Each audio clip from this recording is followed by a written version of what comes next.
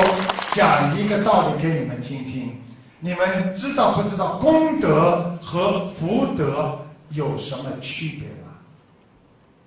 啊，功德厉害，因为功德的话，你有一个灾难来了，人家算命三十九岁你有一个车祸，你可能会走人，或者三十九岁你会生癌症。这个时候，你只要跟菩萨说：“观世音菩萨，把我所有的功德来躲开这个灾难，可以消业障。”而福德就是你去帮助了他，帮他家里做善事，帮他呃买东西或者啊买东西给他，尊老爱幼。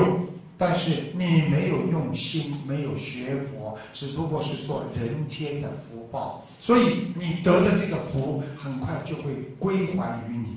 当你有灾难来的时候，你一定受灾，因为你的福已经受到了回报。我今天对你好，他对我好回来，那么就结束了。而功德是能够消业障的，大家记住，凡是参加法会。凡是在法会上，哪怕把一个纸捡起来，哪怕把布拉拉好，哪怕搬一个板凳，全部都是功德。